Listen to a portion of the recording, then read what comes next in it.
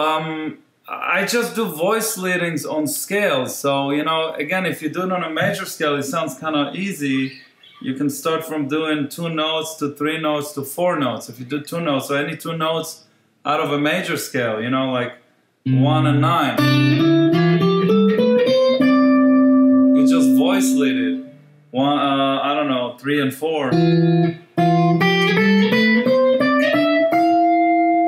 And then you can do three notes, so you take one, one, seven, nine. I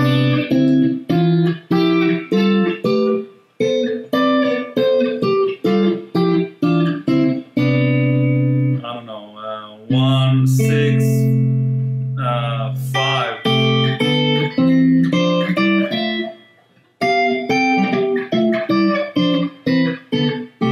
Now the thing is, if you do it on other scales, it starts to get a little more uh, exotic. So if you do, if, let's do it on a melodic minor. So C melodic minor.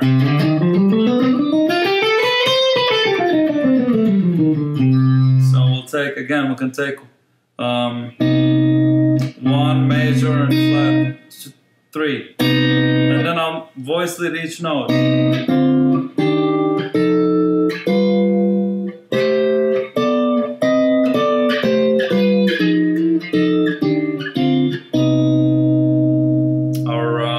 This. Let's take six, seven, and flat three. Check it out. That'll be cool.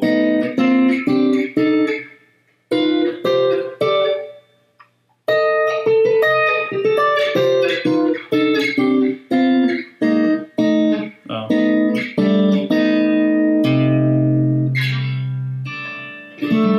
So this is kind of how I do it. I just voice lead